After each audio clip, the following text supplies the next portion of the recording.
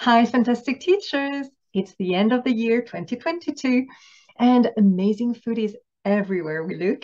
There's chocolate, there's there are mince pies, there's also mulled wine, there are uh, all kinds of delicious food here in Paris too. For instance, I'm thinking about the famous log cake. I know my mom's amazing. but also they've started uh, putting in them in in bakeries and everywhere um, the famous galette des rois, which is made with almond paste and it's delicious. So, what to do with all this irresistible food around us?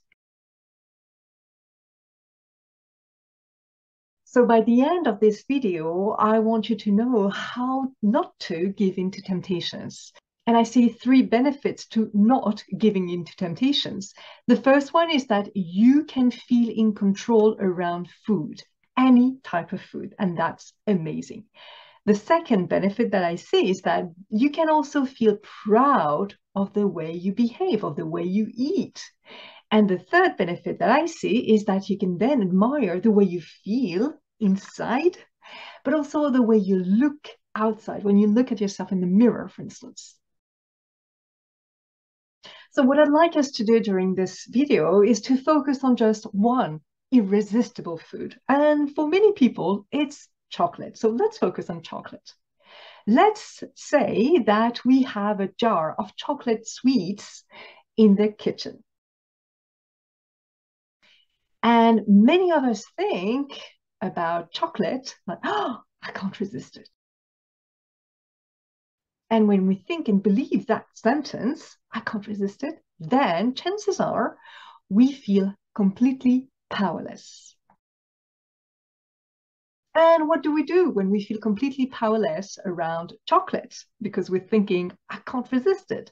Then many people will eat the food and that in that case it would be one chocolate after the other so they won't just stop at one chocolate and they also think of the food as powerful, right?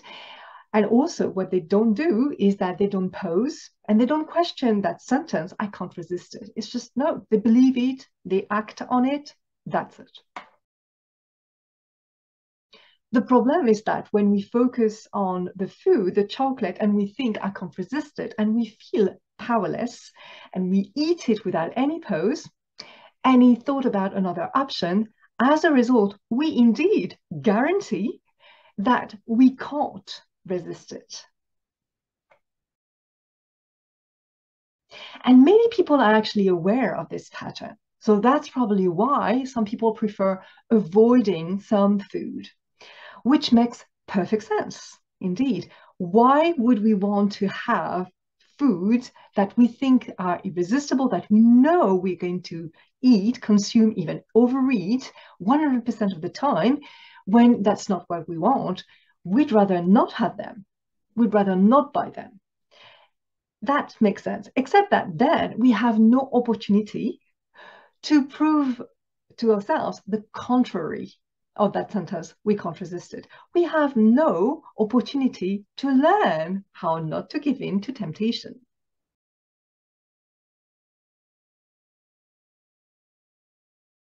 What I always find super interesting is that it's not the chocolates by themselves who make you feel powerless, right?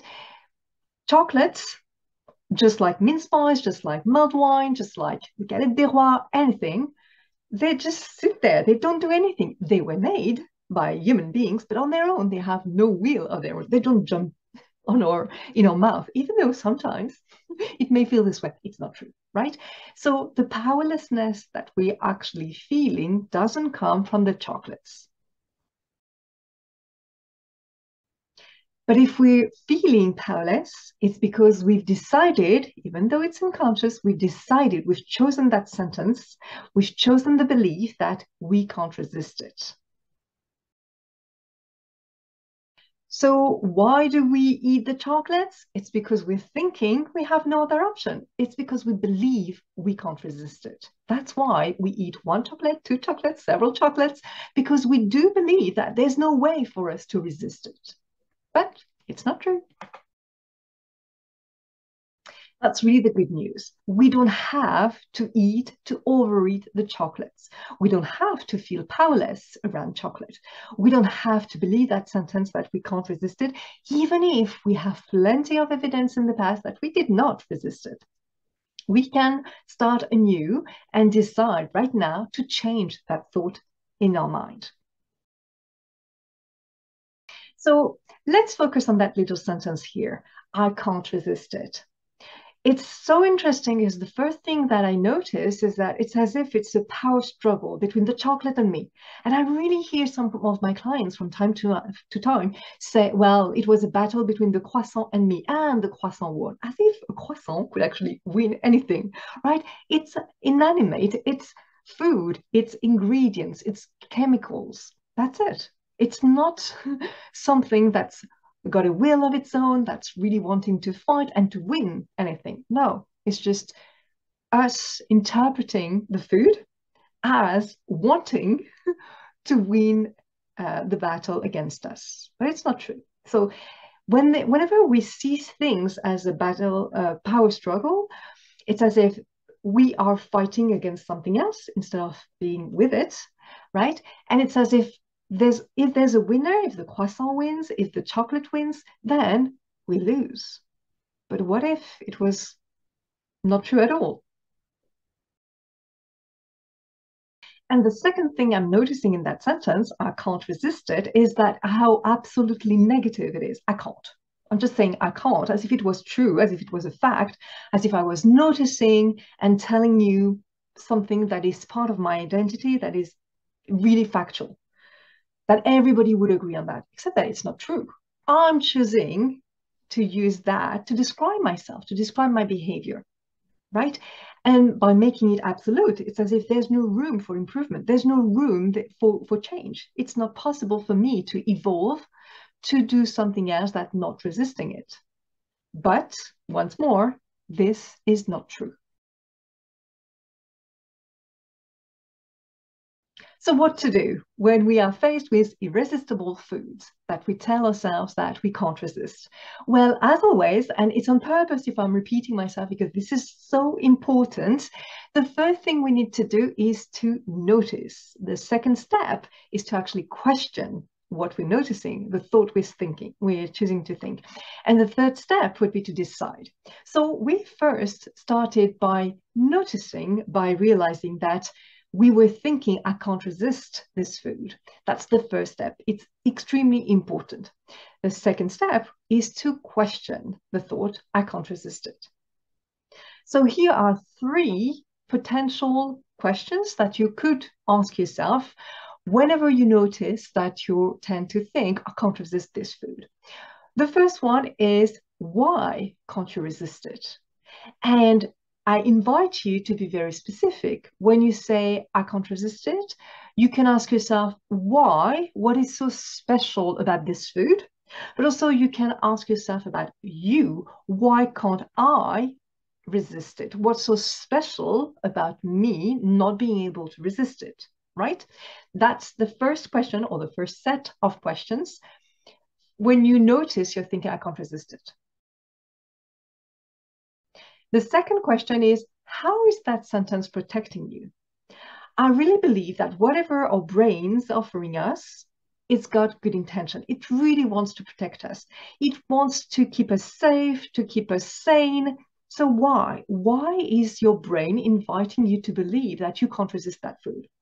And it could very well be because it wants you to avoid buying this food, being around those foods. Why not? But it's worth exploring. The third question I'm inviting you to ask yourself is the one that is, what would it be like if you could be around that food, the chocolate, for instance, and if you did not care at all about it being here? Imagine that, picture it. I want really to you to picture it to see what it would be like, what you would be doing, what you would be thinking, how you would be feeling. Right, very interesting. So remember the three steps, notice, question, and the last one is to decide. So I'm going to offer you three thoughts that you could choose to be thinking instead of, I can't resist this food. The first one could be, well, I used to believe I couldn't resist it, but now I'm willing to change it, to change that belief. That's the first option that I'm offering you, among so many others, of course. The second one could be I'm working on my relationship with that irresistible food. And finally, the third one could be I'm deciding I can not eat this food. It's you making a choice that from now on, this is it. I'm the one in charge. I'm decided, which may feel very different from I can't resist it and the powerlessness that it brings.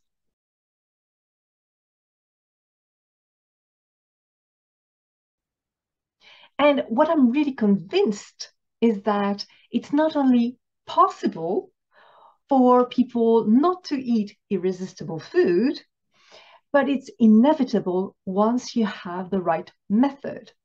And that's actually what my program, the Stress Eating Solution, is completely about.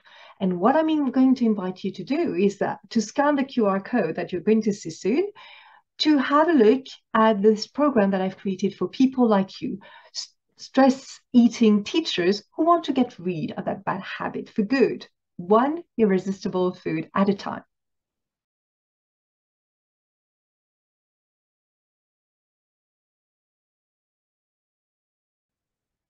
Thank you so much for watching this video.